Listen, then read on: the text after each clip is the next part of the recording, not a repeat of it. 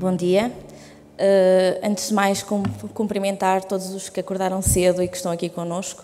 Uh, cumprimentar também a mesa. Uh, é uma honra para mim, com tão poucos anos de especialidade, estar entre as pessoas que para mim representam a geriatria em Portugal. e vou abordar a sarcopenia no que concerne à etiologia e diagnóstico, embora não seja fácil em 15 minutos conseguir uh, realmente uh, mostrar-vos uh, como ainda é tão difícil sabermos os mecanismos e podermos diagnosticar a sarcopenia. nós sabemos que existe uma maior prevalência de incapacidade e dependência funcional em idosos, particularmente os do sexo feminino, e esses aspectos estão correlacionados com a redução da massa muscular, muscular que é decorrente do envelhecimento, mesmo em indivíduos saudáveis.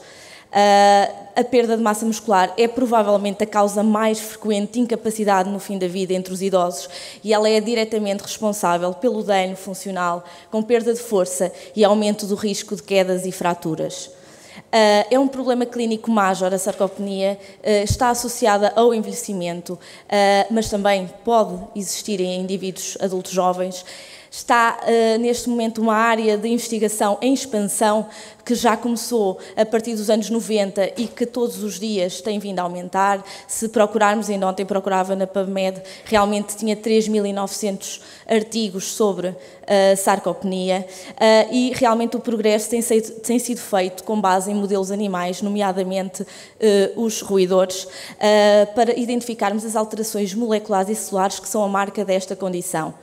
Uh, em 2009 foi criada na Europa uh, um grupo de sarcopenia. Este grupo, uh, que foi inicialmente criado pela EUGEMS, faz também parceria com outros grupos, nomeadamente de nutrição e também de gerontologia e geriatria, e teve como objetivo estudar a etiologia e desenvolver também os tratamentos associados à sarcopenia. E em 2010 surgiram consensos que estão amplamente divulgados na Europa. Também nos Estados Unidos surgiu um grupo associado à sarcopenia e que também apresenta critérios de diagnóstico e tratamento. entretenimiento. A sarcopenia é então uma peça-chave da fragilidade. Sintomas como cansaço, diminuição da força, perda involuntária de peso, lentidão e inatividade caracterizam a fragilidade e estão em parte relacionadas com esta perda de massa muscular e de força muscular. Estima-se que a partir dos 40 anos ocorra a perda de cerca de 5% de massa muscular a cada década, com um declínio mais rápido após os 65 anos, particularmente nos membros inferiores. Há também uma redução de cerca de 40% da área transversa de vários grupos musculares sejam os quadricípedes, os bicípedes, uh, os tricípedes com a idade. Uh, em termos de prevalência, uh, a prevalência depende das medidas que nós vamos utilizar para o diagnóstico uh, e depende muito então das definições que encontramos na literatura. Mas em pessoas com 60 a 60 anos, estima-se ser de 5 a 13% e quando ultrapassamos os 80 anos, a prevalência pode vir até aos 50%. Uh, nós sabemos que uh, no mundo o número de pessoas com idades com idade superior a 60 anos estimava-se 6 milhões no ano 2000 e estima-se de 2 bilhões em 2050. Uh, ah, e mesmo com uma estimativa que seja conservadora, nós sabemos que a sarcopenia afetará mais de 200 milhões de pessoas nos próximos 40 anos e, portanto, temos que pensar nela. Uh, embora a prevalência tenha sido estudada uh, em indivíduos na comunidade e em lares, ela ainda não foi bem investigada no que concerne aos indivíduos que estão admitidos nas unidades geriátricas em internamento. Mas, da literatura, o que também se sabe é que a prevalência não difere substancialmente das restantes. Uh, Irving Rosenberg propôs a utilização do termo. Uh, o termo já foi criado em 1989, uh, por via do, do, grego sarco, que significa carne, e penia, que significa perda, portanto, a perda da carne, a perda da massa muscular. Uh, e não havia nenhuma característica relacionada com a idade que fosse mais dramática a afetar a nutrição, a deambulação, a mobilidade e a independência funcional, já dizia Rosenberg nesta altura.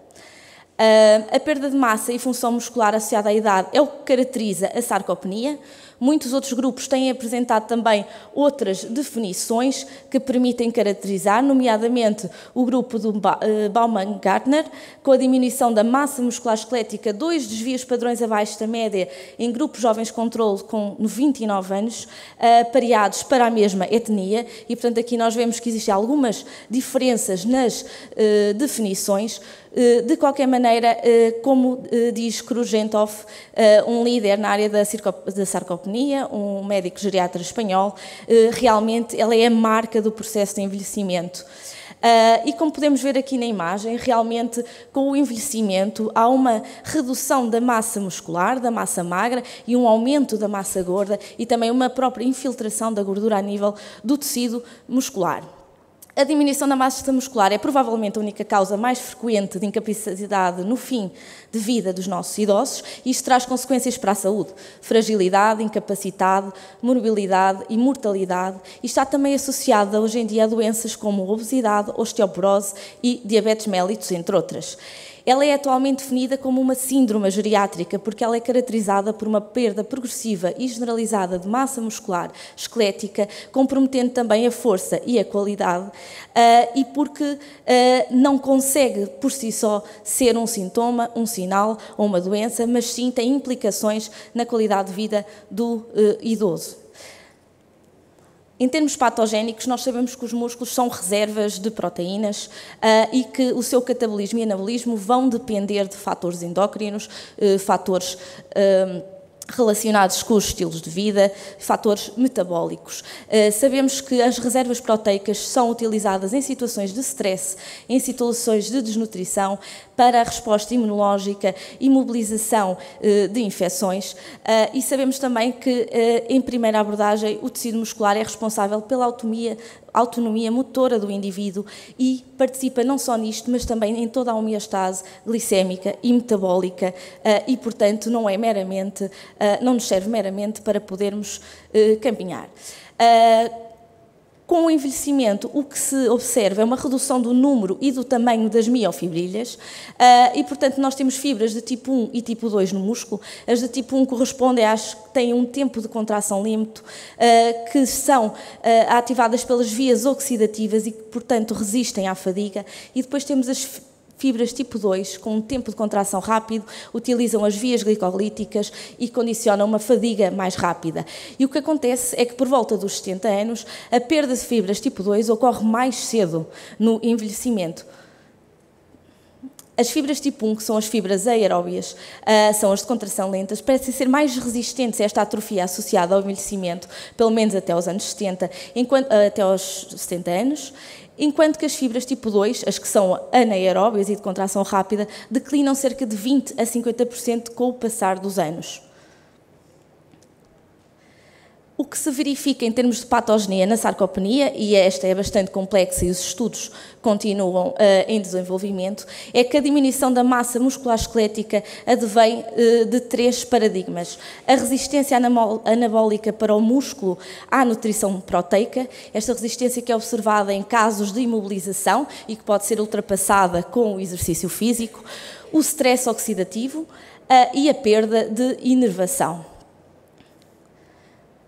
Sabemos que com o envelhecimento há uma diminuição da produção das hormonas uh, sexuais uh, e sabe-se também que uh, há uma redução desta da, ou resistência às substâncias anabólicas no músculo esquelético. E os estudos mostram que esta queda da testosterona e o declínio da massa e força muscular estão intimamente correlacionados.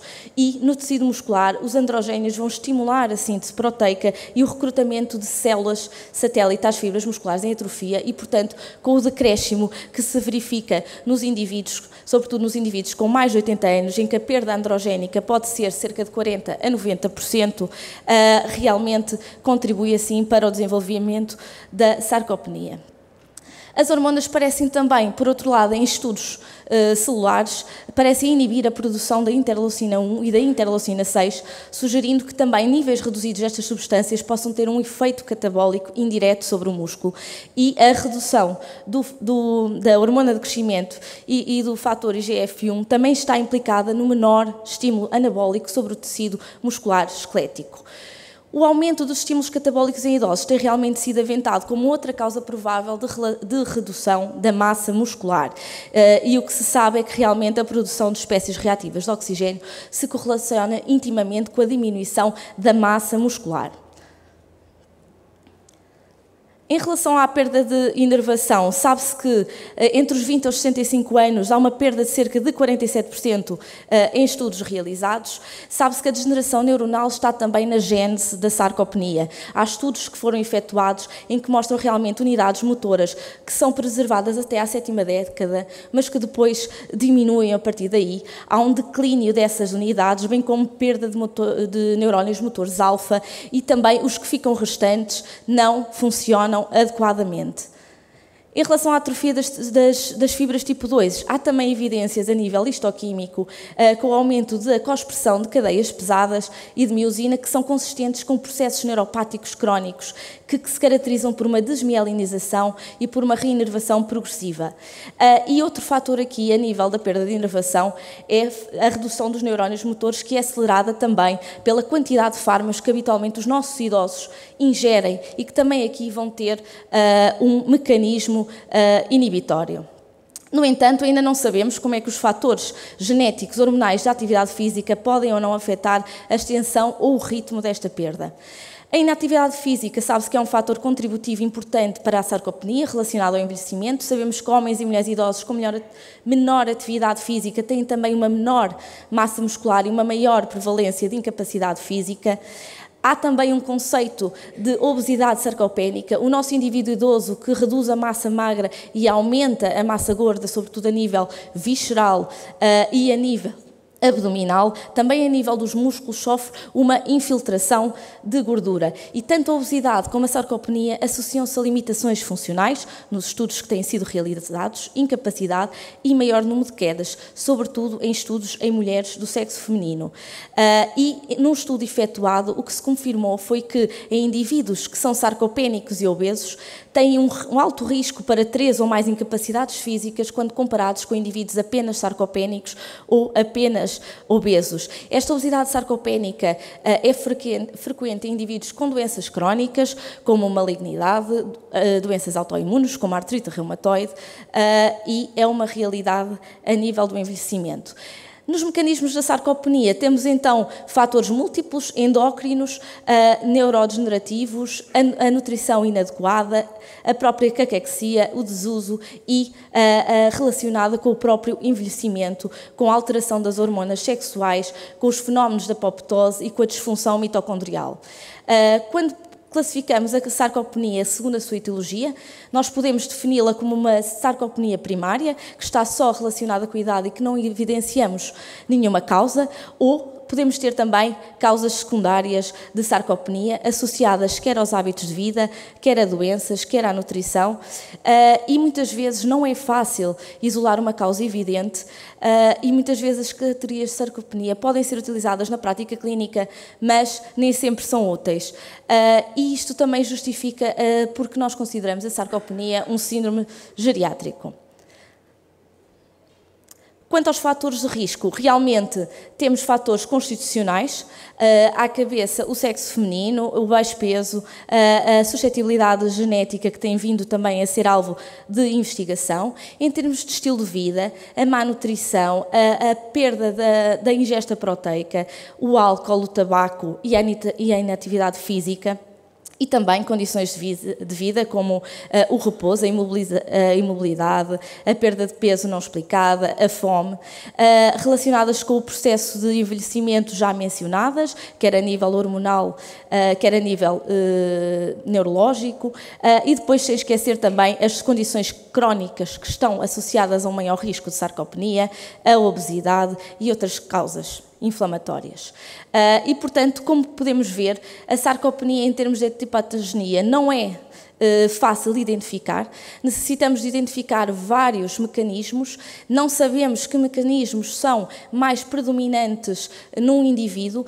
O que sabemos é que todos eles contribuem para a redução da massa muscular e da força eh, muscular. E o que sabemos é que realmente eh, as reduções em termos das, das hormonas sexuais conduzem a um aumento das células inflamatórias, um aumento das atividades apoptóticas a nível das fibras musculares, o que conduzem também ao aumento do stress oxidativo e alterações a nível mitocondrial.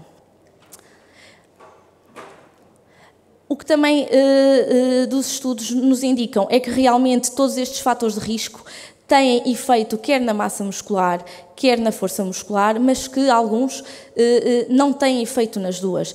E isto também é importante, porque quando pensamos em sarcopenia, não podemos pensar apenas na perda de massa muscular, parece que a força muscular é bastante mais importante quando tentamos caracterizar o nosso indivíduo com sarcopenia. Existem algumas curvas, as chamadas curvas viciosas da sarcopenia, eh, que nos explicam como é que ela se perpetua e como é tão difícil eh, hoje em dia podermos oferecer tratamento. A imobilização, eh, a nutrição e a parte metabólica. Uh, em relação à imobilização, sabemos que a inatividade física é um contributo importante para a sarcopenia que está relacionada com o envelhecimento. Sabemos que homens e mulheres com uh, menor atividade física têm também menor massa muscular e maior prevalência de incapacidade e, portanto, a prática regular de exercícios desde jovens vai poder minimizar o dano muscular e o risco de quedas e fraturas no idoso. A nível nutricional, a imobilização é comum com o avançar da idade em muitos idosos, seja por várias causas, eh, e com isto ocorre um declínio de mais de 15% do gasto metabólico, o que acontece também devido à redução do tecido magro e principalmente das células musculares. E no indivíduo idoso o que há é uma diminuição das capacidades nutricionais. Esta diminuição da ingesta alimentar, a chamada chamada anorexia do envelhecimento, eh, que se caracteriza por uma menor ingesta, por alteração dos hábitos eh, sociais, por doenças crónicas. Tudo isto vai comprometer e vai agravar eh, a evolução para o indivíduo com sarcopenia. E depois, por fim, os efeitos metabólicos que se perpetuam na sarcopenia, pois já existe uma diminuição da reserva proteica do organismo, que conduz também a uma diminuição da capacidade para o aumento da síntese proteica muitas vezes associada à lesão e à doença. Portanto, é o chamado catabolismo associado às doenças, que aqui também tem um papel eh, vital eh, no desenvolvimento da sarcopenia. Quando falamos em sarcopenia, pensamos também em fragilidade no doente idoso, o conceito de fragilidade vai para além destes fatores físicos da sarcopenia. Realmente a sarcopenia pode evoluir para fragilidade. Podemos ter indivíduos frágeis que não sejam eh, sarcopénicos, porque na fragilidade temos que incluir também as dimensões psicológicas, sociais, o estado cognitivo e o próprio suporte social. Uh, e, portanto, quando falamos em sarcopenia, temos que distinguir de dois uh, termos, da fragilidade e da caquexia. A caquexia é um síndrome metabólico que está associada a várias doenças, como o cancro, a doença obstrutiva crónica, a insuficiência cardíaca, a doença renal, uh, e é caracterizada por perda de músculo, com ou sem massa gorda. Há um predomínio das citocinas pró-inflamatórias devido às doenças, está associada à inflamação, à resistência à insulina, à anorexia e quebra de proteínas musculares e não existe uma correlação com a variabilidade no tamanho das miofibrilhas. No, no, que concerne à fragilidade, aqui sim temos muitas vezes uh, síndromes de sobreposição uh, e realmente uh, uma maior vulnerabilidade do doente também a desenvolver sarcopenia. E, portanto, quando falamos no diagnóstico da sarcopenia, o que nós temos que identificar é uma redução da massa muscular e uma redução da função muscular. Esta redução da função muscular, que pode ser caracterizada pela força ou pela performance, uh, existem na literatura vários grupos uh, e, que têm tentado determinar os critérios para identificar o indivíduo sarcopénico uh, e existem também uh, a criação de questionários que permitem identificar os indivíduos em risco para a sarcopenia, como é o caso do SARC-F, em que, através de cinco questões, uh, vão realmente pontuar se o indivíduo tem ou não tem risco de estar a desenvolver sarcopenia. Os critérios utilizados pelos consensos do grupo da sarcopenia europeu são 3. O diagnóstico é feito quando temos o primeiro critério mais um o critério 2 ou o critério 3, ou temos os três. E caracteriza-se por uma baixa massa muscular, uma baixa força muscular ou uma performance física também reduzida. Falamos em pré-sarcopenia quando nós temos uma baixa massa muscular, mas não temos alteração quer da força, quer da performance. Uma sarcopenia quando temos o critério, o primeiro critério e mais um dos dois, e uma sarcopenia severa quando temos os três. Quando medimos a sarcopenia, pensamos então força muscular. A força de pressão palmar é uh, o mais utilizado como teste diagnóstico. Ela correlaciona-se muito bem com a performance a nível dos membros inferiores, que de resto é o que uh, traduz a sarcopenia no idoso e tem uma relação íntima com a mortalidade, é fácil de realizar na prática clínica. A nível da massa muscular, temos a, a bioimpedância elétrica, temos a densitometria óssea, que é o, o, a técnica de excelência, uh, embora menos uh, prática que a bioimpedância elétrica, e temos as medidas antropométricas, que têm algum grau de, de pouca especificidade, muitas vezes, e alguma subjetividade. E depois temos a performance física, que é avaliada também com o tempo de distância a caminhar, com a relação entre a velocidade de marcha e a própria mortalidade. Muitas vezes podemos aplicar apenas este critério para definir a performance física eh, e, habitualmente nos estudos, utiliza-se uma bateria, que é o Short Physical Performance Battery, eh, no sentido de determinarmos eh, se este componente também está presente. Uh, quando identificamos, temos realmente, quer a nível da pesquisa científica, quer a nível clínico, uh, vários instrumentos à nossa disposição para avaliação da massa muscular. Uh, temos também depois na força, para além da força de preensão palmar, temos a, flexão e a extensão do joelho e temos ainda o, Peak Expiratory Flow para avaliação, embora com menos resultados específicos. E depois, como já referi, a nível da performance física, o mais utilizado utilizado é o short battery, uh, embora podemos também uh, utilizar o get up and go test uh, e a marcha habitual, a velocidade de marcha habitual. O algoritmo diagnóstico proposto pelo grupo de sarcopenia é realmente avaliar o indivíduo em termos da velocidade de marcha, Uh, foi definido uh, como cut-off os 0,8 uh, metros por segundo. A partir daí, vamos avaliar quer a massa muscular, quer também a força de preensão palmar, para podermos identificar o indivíduo com sarcopenia ou sem sarcopenia. Concluo assim, eh, mencionando que a sarcopenia é uma causa principal de fragilidade e incapacidade no doente idoso. A perda progressiva da massa muscular do idoso deve-se, em parte, em alterações correlacionadas com a idade, com a perda das unidades neuronais eh, motoras, com a diminuição da produção hormonal, com o aumento da sensibilidade. Eh, Uh, e a diminuição da síntese proteica e o aumento da sensibilidade à insulina, o que conduz ao aumento da proteólise, à diminuição da síntese proteica e à própria infiltração da gordura a nível do músculo. Para além destes fatores fisiológicos, temos os fatores associados ao estilo de vida, a inatividade física, a imobilidade, a inflamação associada às doenças e a malnutrição. O objetivo futuro será homogeneizar as ferramentas de identificação da sarcopenia, os catofes que permitam reconhecer a sarcopenia e o tratamento das suas causas causas, o seu tratamento na prática clínica, encorajando também os estudos das suas causas e das suas consequências. Obrigada.